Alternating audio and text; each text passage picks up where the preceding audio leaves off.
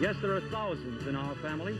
Their work is an integral part of what will be the best picture of the year and of every picture of every year. The award that is about to be given then is a tribute to each and every one of them. The best motion picture is. Hi, I'm Robert Osborne. Our last film, The Red Balloon, was first seen in 1956. That's the same year our next movie initially saw the light of a projector.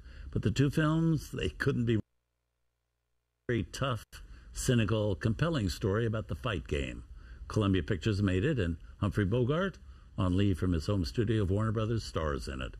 The title is The Harder They Fall, and it, what sets it apart from most fight films is that this time it's not a boxer who's the main focus. Instead, it's a down and out sports writer, played by Bogart.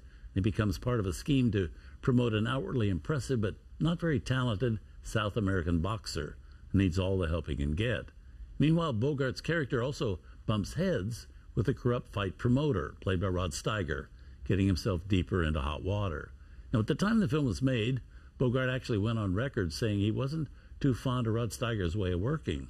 He said he liked Rod as a person, but not his acting style.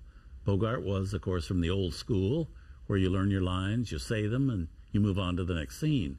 Steiger, though, was a method actor who played everything very realistically, even if sometimes an audience didn't understand what that actor was saying.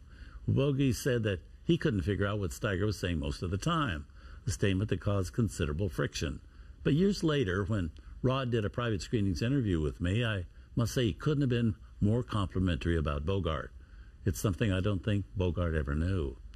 Joining Bogart and Rod Steiger in this film is former heavyweight champ Jersey Joe Walcott, also former boxing champ Max Baer, and the wonderful actress Jan Sterling.